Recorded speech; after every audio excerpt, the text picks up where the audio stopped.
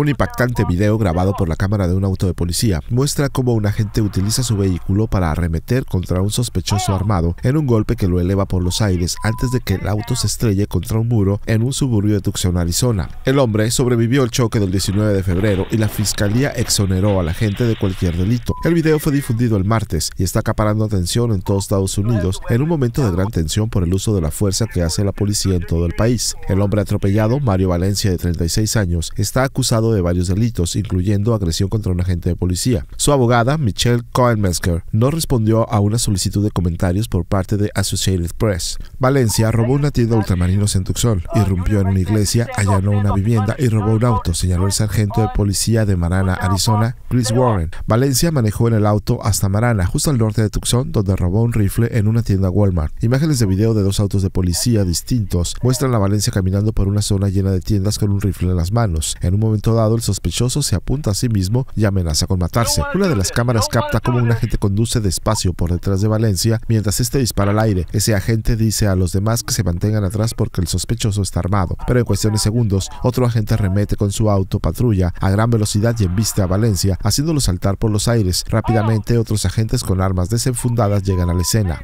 El agente que atropelló a Valencia fue identificado como Michael Rapiesco. El agente estuvo de baja administrativa estándar porque el incidente se consideró uso de la fuerza.